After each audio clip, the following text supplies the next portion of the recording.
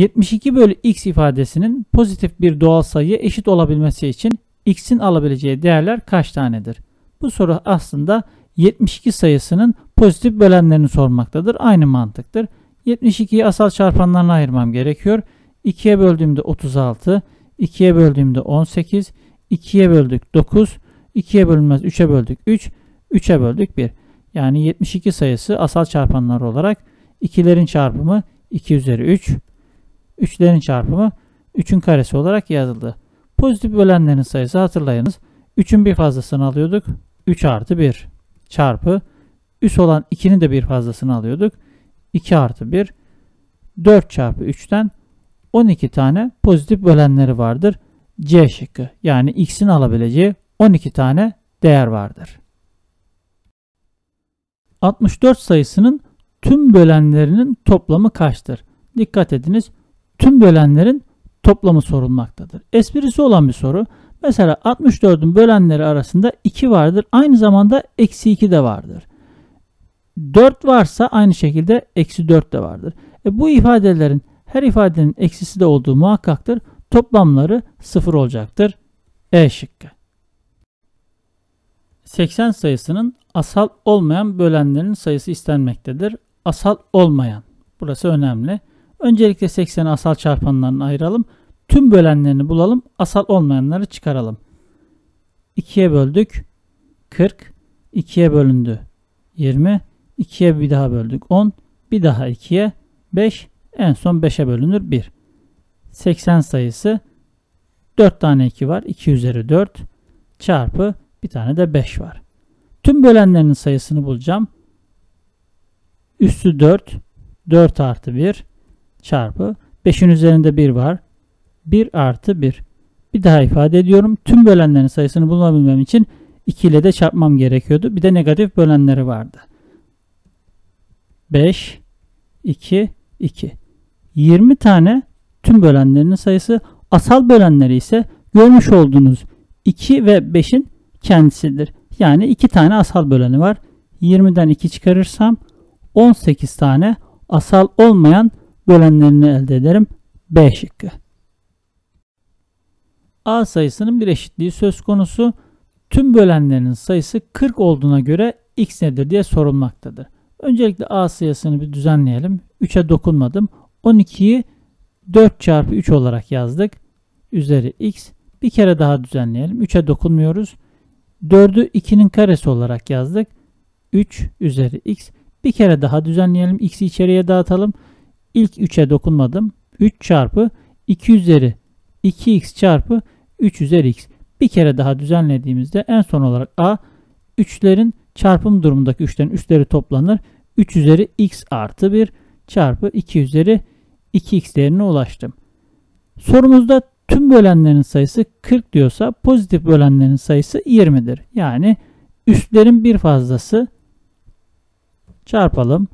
x artı 1 bir daha x artı 2 çarpı 2x artı 1 eşittir 20 oluyor. Pozitif bölenlerin sayısı. Tüm bölenler 40 ise pozitif bölenler yarısı olan 20 olacaktır. Hangi sayıları çarparsak 20 elde ederiz? Pratik olarak düşünelim. 4 kere 5 ile 20 elde edebiliriz. Acaba doğru mudur? Birinci ifade 4 ise x buradan 2 çıkar. İkinci ifade 5 düşündüm. 2x artı 1 eşittir 5 ise x buradan da 2 çıkar. Demek ki 4 kere 5 vermek mantıklı. İkisinde de x'i 2 bulduk. x A şıkkında doğru olarak verilmiş. x eşittir 3 çarpı 15 üzeri y sayısının pozitif bölenlerinin sayısı 30 olduğuna göre y kaçtır? Öncelikle x'i hemen düzenleyelim. Asal çarpanlar tam net bir şekilde ayıralım. 3 çarpı 15'i parçalıyorum. 3 kere 5 üzeri y. y'yi dağıtalım. 3 çarpı 3 üzeri y 5 üzeri y. 3'ler var çarpı durumunda. 3 üzeri y artı 1 çarpı 5 üzeri y. x sayısının en son hali budur. Sorumuza bakarsak pozitif bölenlerin sayısı zaten 30 olarak verilmiş. Yani üstlerin bir fazlasının çarpımı eşittir 30. y artı bir fazlası 2. Diğer y'yi de y artı 1 bir fazlası çarptığımda eşittir 30. Sorumuzda verilen değerdi. 30'u hangi sayılarda elde edebilirim? Mesela 3, 10 ile 3 kere 10 30'dur. Fakat 3 verirsem birinci ifadede y 1 çıkar. ikinci ifadede y 9 çıkacak. Y'lerin aynı çıkması lazımdı. 3 ve 10'u veremeyeceğim. Bundan vazgeçtim. Hangi ifadeleri verebilirim? 6 ve 5 var. 6 kere 5 30. 6 verdiğimde y ifadesi 4 çıkar. 5 verdiğimde y ifadesi ikinci birimde 4 çıkar. İkisini de 4 bulduysam y'lerin doğrudur. B şıkkı. 23'ün karesi eksi 19'un karesi. Farkını tam bölen kaç tane pozitif tam sayı vardır? Dikkat ediniz bir özdeşlik barındıran bir soru. Özdeşliği hemen açıklayalım. a kare eksi b kare tipindeki bir sayı a eksi b parantez çarpı a artı b olarak yazabilir. Özdeşlik mantığıydı.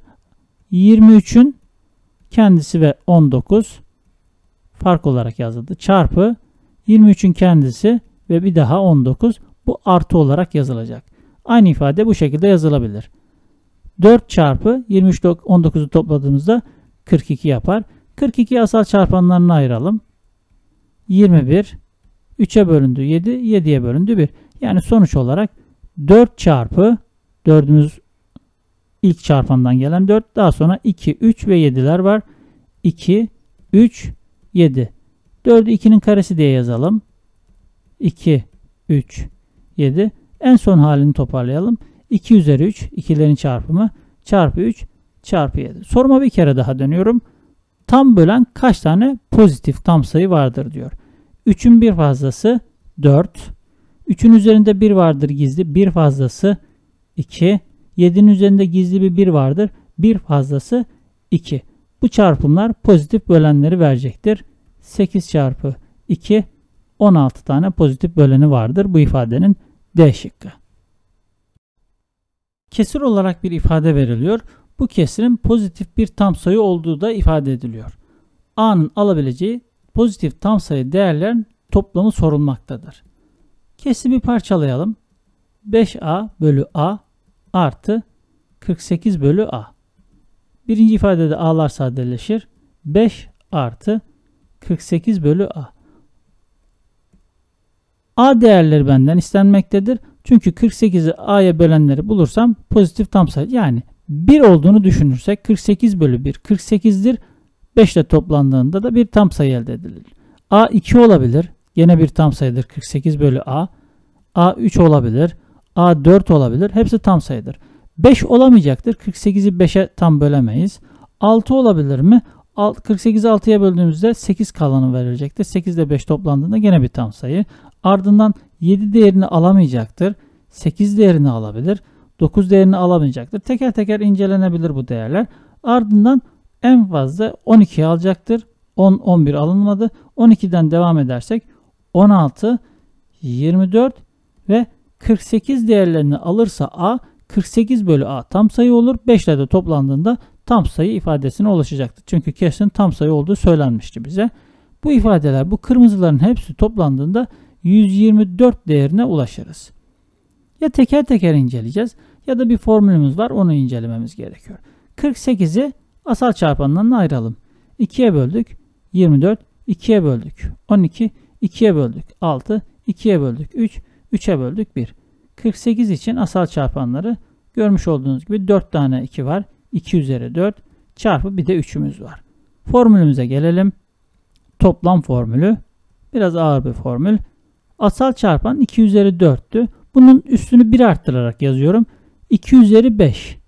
Eksi her zaman formülde 1 var. Bölü asal çarpan 2 eksi 1. Bunu çarpacağız. Diğer asal çarpan 3'ü inceliyorum. Üstünü 1 arttırarak yazıyorum. 3 üzeri 2 eksi her zaman formülden gelen 1 bölü aşağısı da asal çarpan yani 3 eksi 1. 2 üzeri 5 32 1 çıkardığında 31 bölü 1 olacak. Yani 31 sağ tarafta 4 ifadesi oluşacak. 31 çarpı 4 de yine 124'ü verecek. Ya formülle çözmemiz gerekecek formülümüz ya da teker teker a'ları düşüneceğiz. Sonra da toplayacağız. A şıkkı.